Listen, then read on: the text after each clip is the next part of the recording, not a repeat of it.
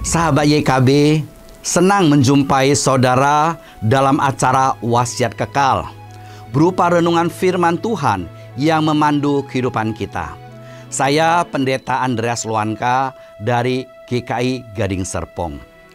Renungan kita hari ini 25 Agustus 2023 hari Jumat berjudul Dipuji Tuhan yang didasarkan pada 2 Korintus pasal 10 ayat yang ke-12 sampai ayat yang ke-18.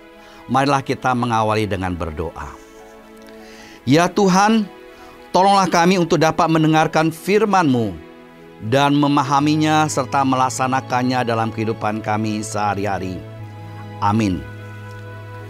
Yang menjadi pusat permenungan kita pada hari ini adalah 2 Korintus pasal 10 ayat 18.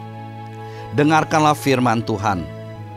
Sebab bukan orang yang memuji diri yang tahan uji, melainkan orang yang dipuji Tuhan.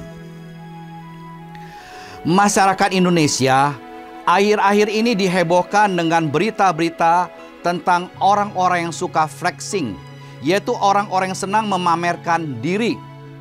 Orang-orang ini senang mengirim foto diri mereka membawa atau mengenakan atau mengendarain barang-barang yang mahal harganya seperti tas, sepatu, mobil, dan sebagainya.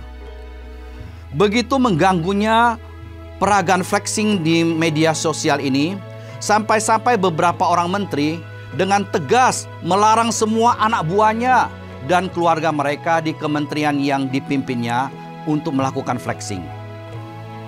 Saudara, orang-orang seperti itu pula lah yang dihadapi Rasul Paulus di Korintus.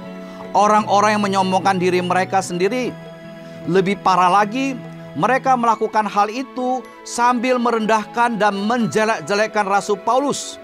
Mereka menganggap diri mereka lebih superior dibanding Rasul Paulus.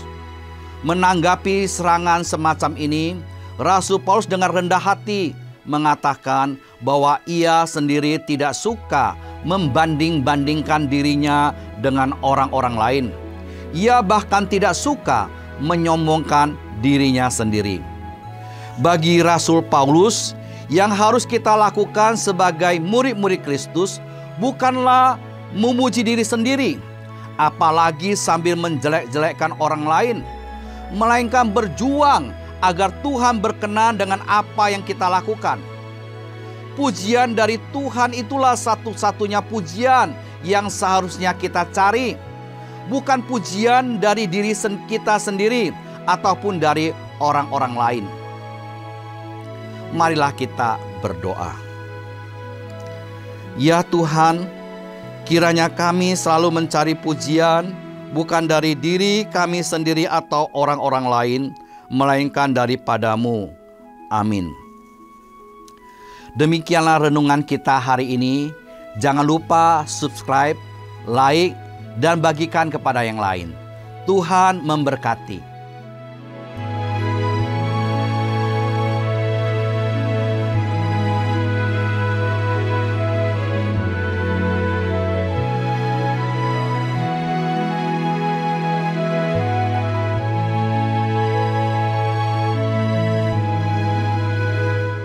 Sahabat, mari dukung pelayanan dan pekabaran Injil melalui YKB dengan membagikan link acara ini kepada sebanyak mungkin orang.